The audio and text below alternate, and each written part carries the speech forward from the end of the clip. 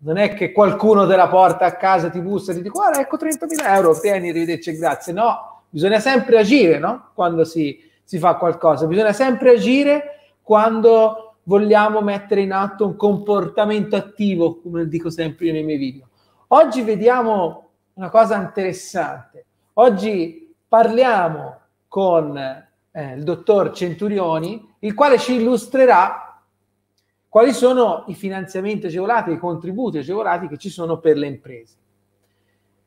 Parleremo anche di imprese in essere o nuove imprese. Parleremo di finanziamenti per l'import, export e per la digitalizzazione, faremo degli esempi e vedremo anche come si compila poi una pratica di finanziamento e per l'accesso appunto a questi contributi per la digitalizzazione.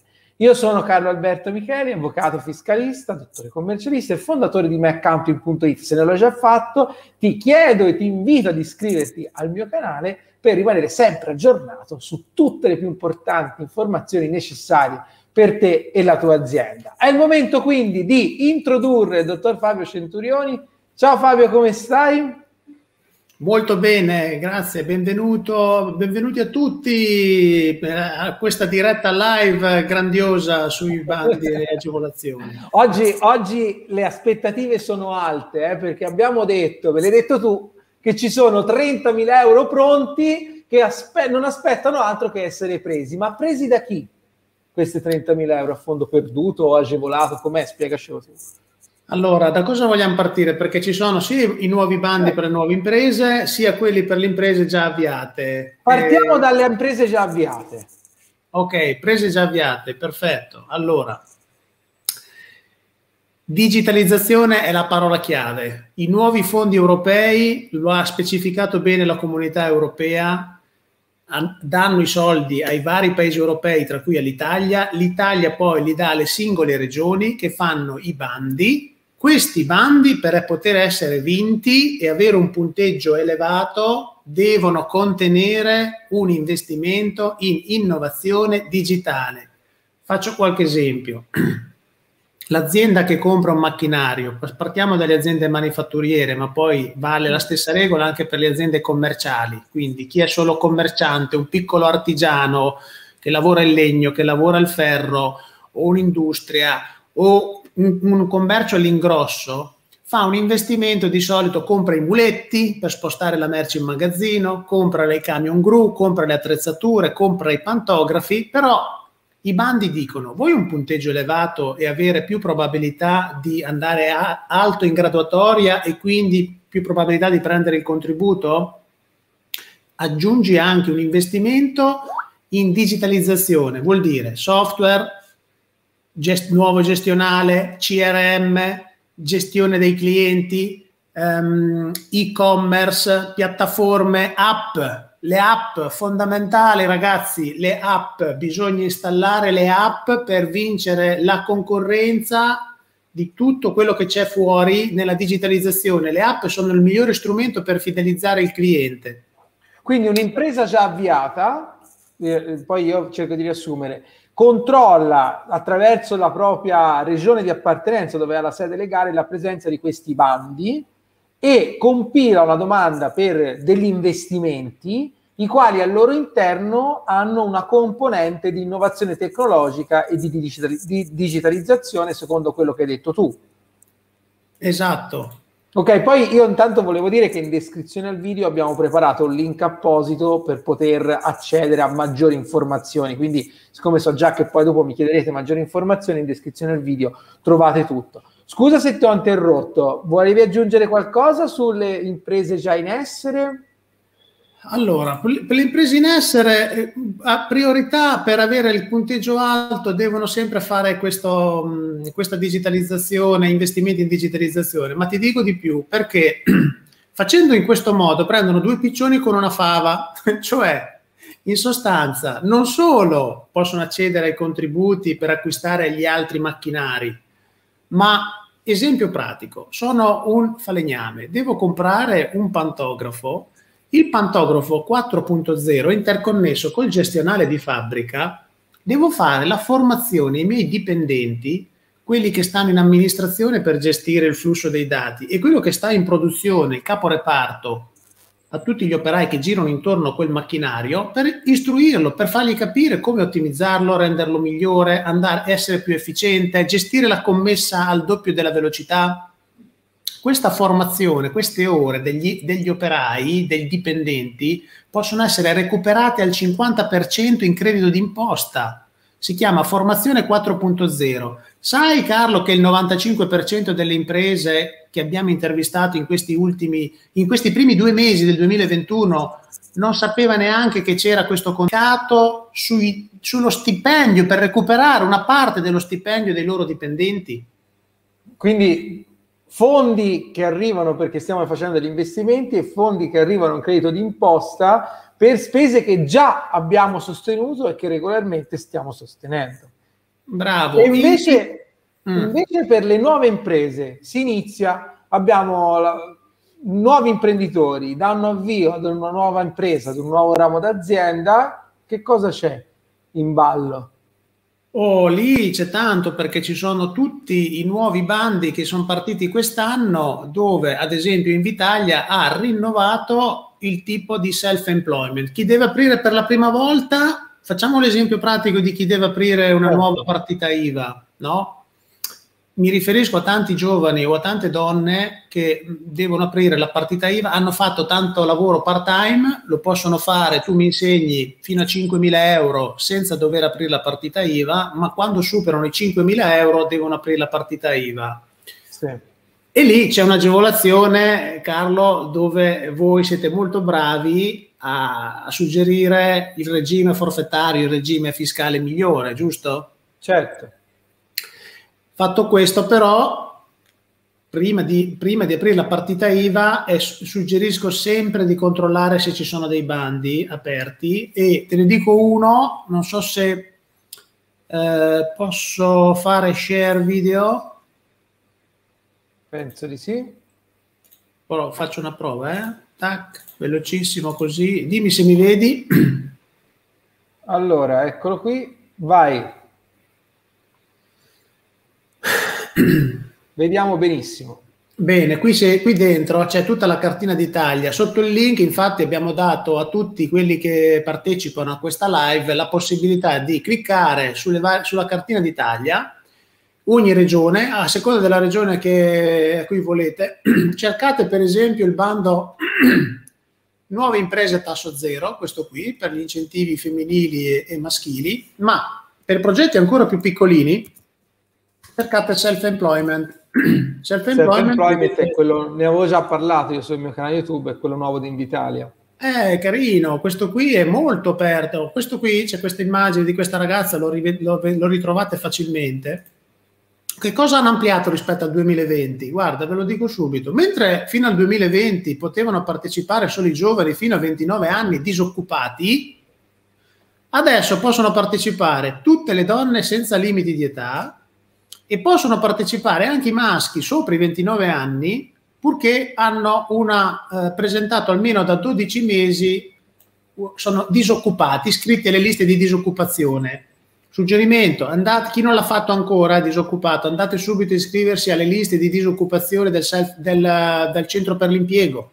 Dovete andare al job, al centro per l'impiego, iscrivervi disoccupati, perché se maturati 12 mesi potete fare questa richiesta.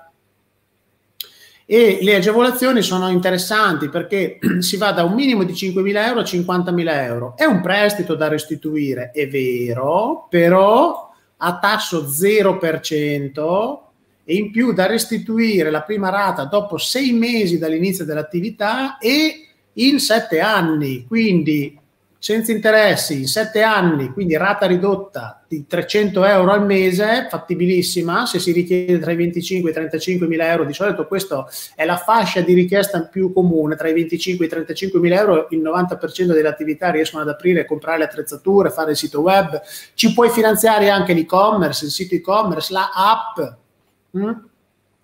alcune delle merci per fare iniziare l'attività e quindi direi che è molto vantaggioso, no Carlo? Esatto, esattamente. Bene, poi invece se vogliamo andare a vedere Mm, ah, dimmi tu se vogliamo andare no, avanti. Vai, vai, pure, vai pure che vai benissimo. c'è, c'è questo sempre per le nuove imprese sempre a tasso zero, che fra poco gli aggiungeranno un contributo del 20% a fondo perduto, sempre per le donne e per gli uomini, questo, mentre adesso è al 75%. Questo qui sono nuove imprese, il finanziamento a tasso zero per le nuove imprese. Bravissimo, per, per importi superiori a 35 mila euro. Eh. Qui okay. qualcuno dice io devo investire io 35 mila euro, veramente non so cosa farmene, sono troppo pochi allora voglio, creare, voglio chiedere un incentivo superiore, oltre i 50.000, oltre i 100.000, oltre i 200.000. Per esempio stiamo aprendo dei centri estetici dove devono comprare 200.000 euro di macchinari. Eh, stiamo aprendo delle falegnamerie dove devono comprare 150.000 euro di macchinari, solo per fare due esempi. Mm. In questo caso il vantaggio delle donne è che non hanno alcun limite di età, mentre per gli uomini c'è il limite di età di 36 anni. Però vi voglio anticipare questa grande novità, che anziché il 75%, si passa tra poche settimane al 90% e in più c'è un 20% a fondo perduto che non dovrà essere restituito. Quindi questa è una bella novità, state sintonizzati perché tra poche settimane questa misura sarà stravolta e sarà aggiornata. Esatto. Hanno già approvato il decreto a dicembre del 2020, però lo devono convertire. Manca una circolare applicativa, solita legge all'italiana che fanno sempre in ritardo. Vabbè, in Italia è classico che si faccia prima il provvedimento, oppure anzi addirittura ora fanno il comunicato stampa. Comunicato stampa del Ministero che dice che arriverà un provvedimento e poi dopo il provvedimento arriverà in eh, così.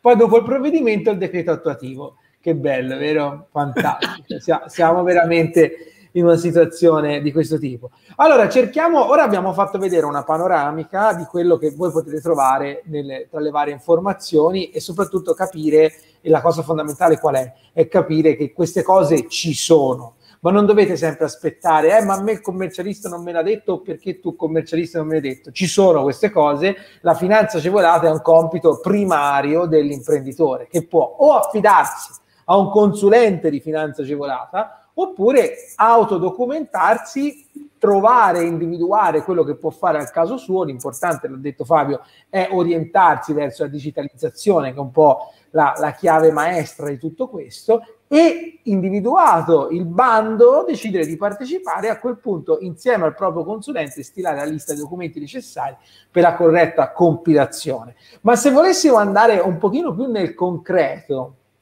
eh, Fabio, cerchiamo di fare tipo tre esempi pratici e, e, quando si parla di tre esempi pratici si parla di un libro professionista, di un artigiano oppure di un commerciante.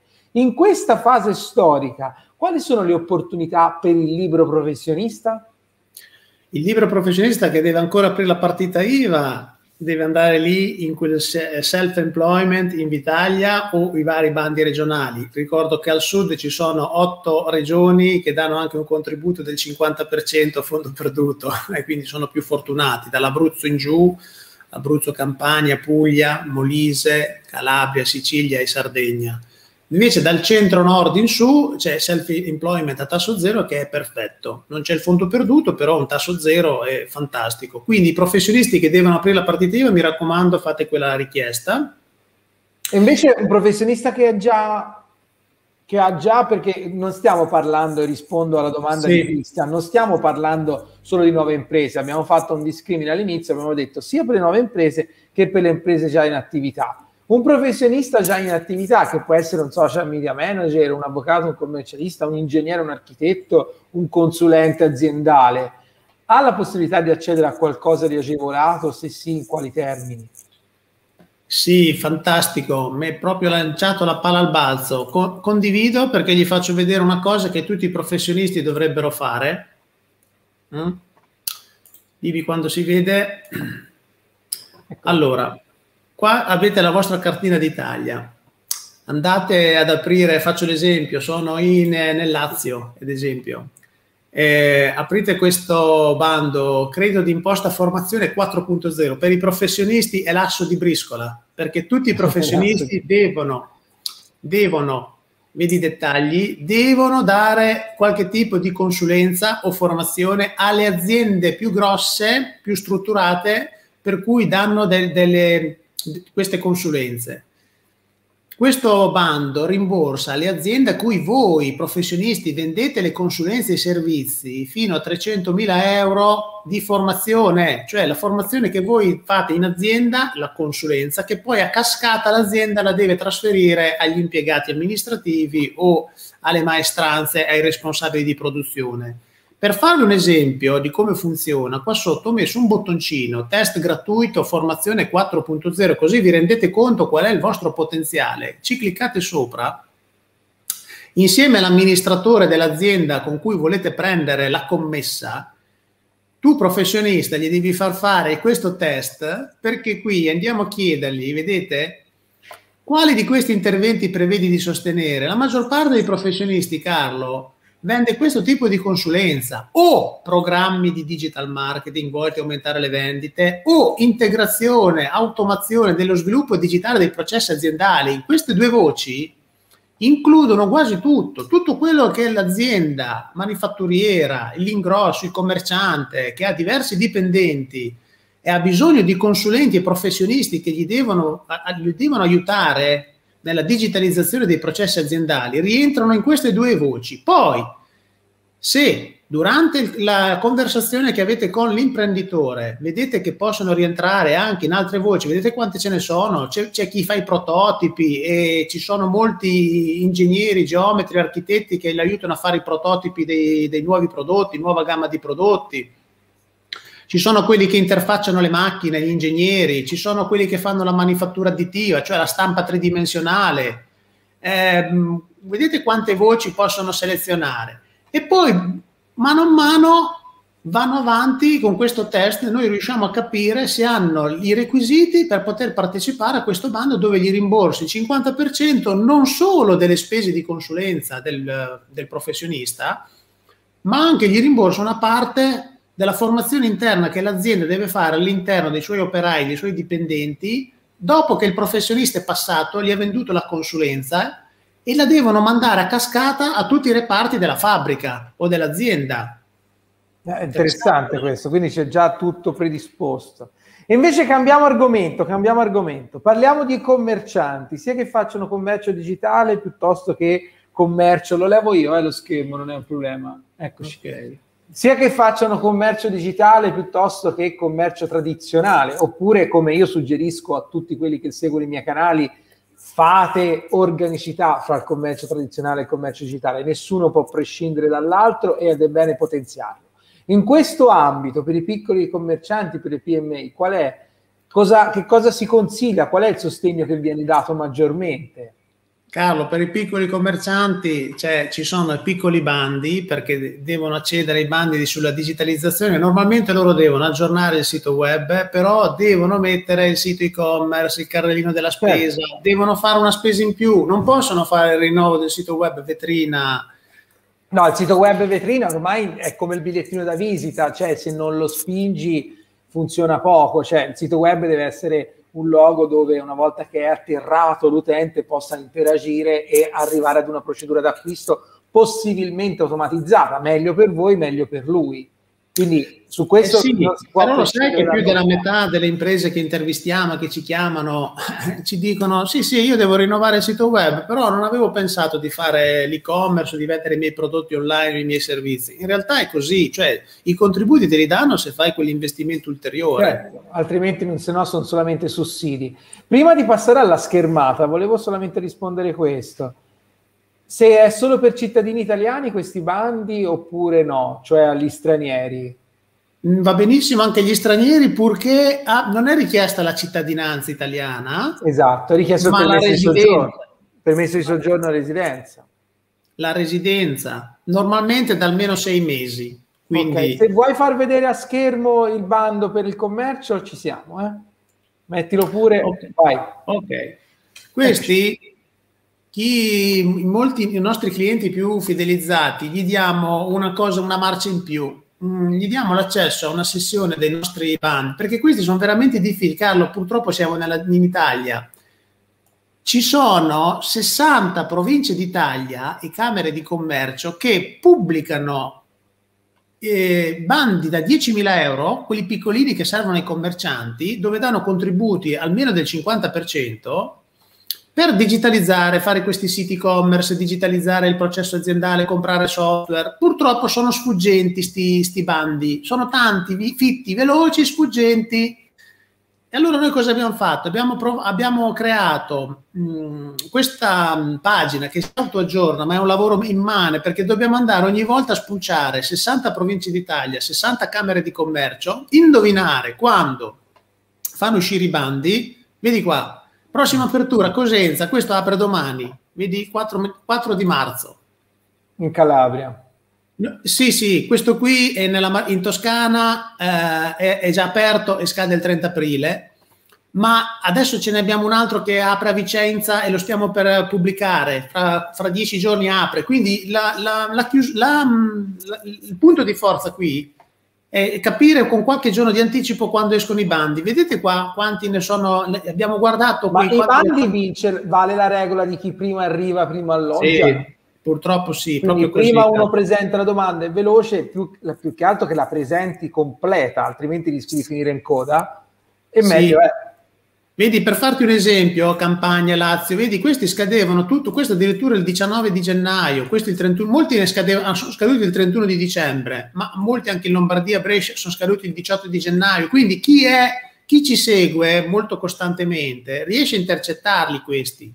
Purtroppo sono quelli piccolini che è difficile prevedere perché ogni Camera di Commercio, mh, hm, ogni piccolo ente pubblico siccome sono piccolini, pensano che possono decidere loro le date. Non c'è una regia nazionale che dice, oh, il 3 eh, di aprile pubblicheremo questo bando. No, ogni, ognuno fa la sua data, vedi che roba? Sì, uno sì, lo sì. fa scadere a ottobre, uno a gennaio, uno a dicembre, il prossimo, il prossimo il 4 di, di, di marzo, quello di Vicenza che aprirà il, um, il 13 di marzo, eh, questo della Toscana, capito? Sono tutte date, sono fuori di testa e noi ci tocca, io devo pagare un ragazzo, una persona, un e, un e mezzo perché un altro deve fare part time per cercare di intercettare ogni volta su queste 60 province questi bandi piccolini, perché sono quelli poi che aiutano molto le imprese. Allora noi dove possiamo, riusciamo a mandar via la domanda, la prepariamo prima che ehm, la pubblichi, no? Così quando apre il 4 marzo alle ore 9 di sì, solito, noi siamo i primi a, pre- a prepararle, quindi siamo in alto in, gra- in, classifica prima che finiscono le risorse, perché di solito mettono 200, 300 mila euro, 400 mila euro, per cui soddisfano solamente le prime 50 domande, le prime 100 domande, capito? Quelli che arrivano dopo la centesima domanda rimangono un po' col cerino in ti mano. Volevo, ti volevo chiedere l'ultima cosa, abbiamo dato veramente tantissimo valore e tantissima informazione. Ci fai un esempio di come si compila invece questo web form per arrivare al contributo sulla digitalizzazione imprese che è fino a 30.000 euro? Come funziona? Ah sì, guarda, quello da 30.000 in particolare. Mm. Faccio vedere come si compila, sono tutti curiosi, sono curioso anch'io. allora, guarda, ti faccio vedere un'altra cosa che non ne abbiamo parlato, perché sono, c'è questo bando per l'export eh, questo è interessante, Carlo. Questo qui ehm, apre il 9 di marzo mm, ed è per le aziende che vogliono esportare all'estero, danno fino a 30.000 euro di incentivi, di contributi. Quindi cosa succede? Eh, il Ministero ti dice ti do dei contributi per pagare un export manager temporaneo per sei mesi, lo paghi tu per sei mesi 30.000 euro, io ti rimborso il 66%, purché ti faccia una mm, ricerca in quale paese vuoi esportare i tuoi prodotti, ti, cer- vedi, ti crea l'e-commerce, vedi che roba? Praticamente mh, mm, ti trova anche il settore fieristico alla fiera a cui devi partecipare per poter intercettare il maggior numero di clienti e si chiamano voucher internazionalizzazione. I TEM sono i temporari export manager.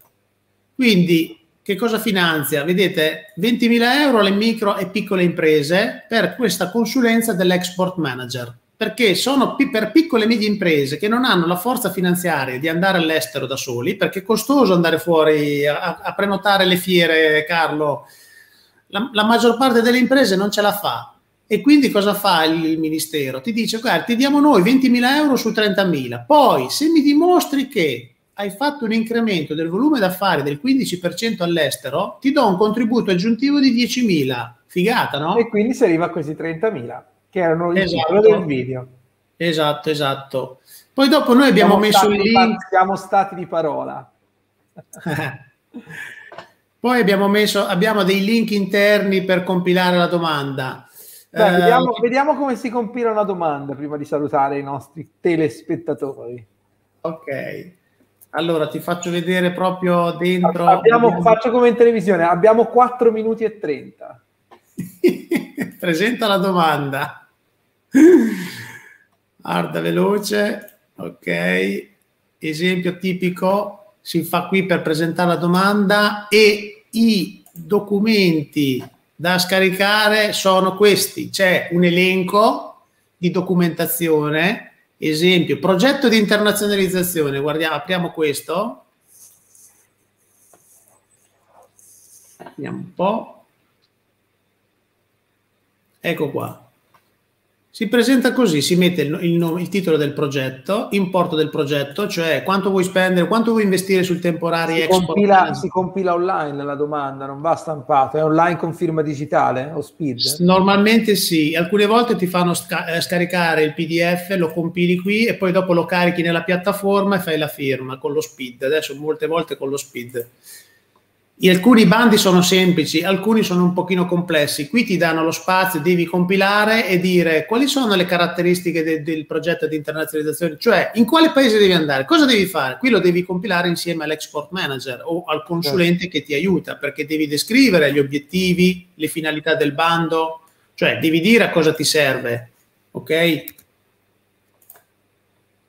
Poi le finalità, esatto. E, mh, in questo caso non è un bando molto complesso, quindi si può fare in autonomia, le aziende spesso lo fanno in autonomia, ci chiedono l'aiuto solo se vedono che è particolarmente complesso. Comunque, aspetta che torniamo noi, cioè abbiamo visto quindi come effettivamente è possibile, qual è, cioè alla fine secondo me la cosa più difficile non è compilare il bando, quello poi si fa col proprio consulente, col commercialista, con l'esperto di finanza agevolata.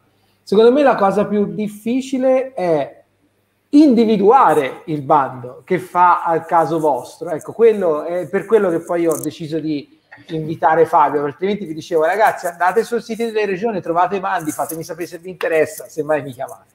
Invece no, cioè quello che sta dietro non è trovare quel bando, ma è individuare quello giusto per te, capire quali sono gli elementi fondamentali per andare a presentare la domanda e poi farlo nei giusti tempi. Esatto. Se vuoi, se vuoi concludere indicando quali sono i consigli, eccetera, a te la parola. Sì, diamo dei consigli anche grossi. Ti faccio l'esempio pratico di un export manager che ci ha contattato per questo bando per l'esportazione. Lui era convinto che non poteva accedere perché questa è una, è una figata bella, Carlo, perché adesso il ministero ti dice se vuoi aiutare un'azienda, tu sei un export manager, sei un professionista che ha delle caratteristiche, delle qualità per poter aiutare un'azienda, vuoi fare una consulenza, bene, però mi dimostri che hai avuto almeno tre casi nel passato che hai aiutato un'azienda e gli hai fatto ottenere dei risultati, ma non gli basta più. Questo export manager mi diceva, io sono vent'anni che faccio l'export manager, ho accompagnato centinaia di aziende all'estero,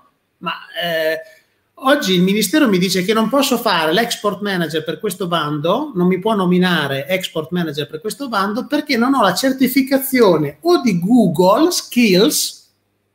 Hai visto che lì nelle, nelle varie opzioni c'era saper fare un e-commerce e sponsorizzarlo anche all'estero? Mm. Quindi dice: Io non ho le Google Skills, non ho fatto il Facebook Blueprint, il corso certificato di Facebook per capire come si postano e si fa pubblicità su Facebook. Non ho fatto i corsi di digitalizzazione. Loro, il ministero ti dice che almeno un corso sulla digitalizzazione la devi saper fare. In questo caso, noi gli abbiamo consigliato che può, lui può operare sotto il cappello di un'azienda che ha già queste certificazioni, si fa nominare export manager e ha le qualifiche per farlo. Quindi spesso noi interveniamo, gli diamo dei consigli perché a volte san, non, non sanno che hanno i requisiti per partecipare, glieli controlliamo e gli diamo i consigli giusti. Inter- allora, stavo rispondendo a un ragazzo che mi diceva che non, eh, di come si chiama il sito. Io ho detto in descrizione al video trovate tutte le informazioni per poter accedere. E ora io vi sto anche mandando qui nella, nella chat questo che è l'indirizzo per poter accedere. Così avete tutto, sia in chat che in descrizione al video. Basta che ci cliccate e tu, trovate tutte le informazioni. Io davvero Fabio ti ringrazio di cuore, Fabio non è la prima volta che viene qui sul mio canale, abbiamo già fatto diversi contenuti insieme, dei webinar insieme, li potete trovare sul mio canale YouTube e quindi ti ringrazio di cuore per essere stato qui con me e ci vediamo al prossimo video al prossimo bando. Carlo, io ringrazio te, sempre un professionista squisito come al solito e poi sì, ci vediamo al prossimo video, saluto tutto il pubblico che ci sta seguendo. Ciao ragazzi, buona giornata. A presto, ciao.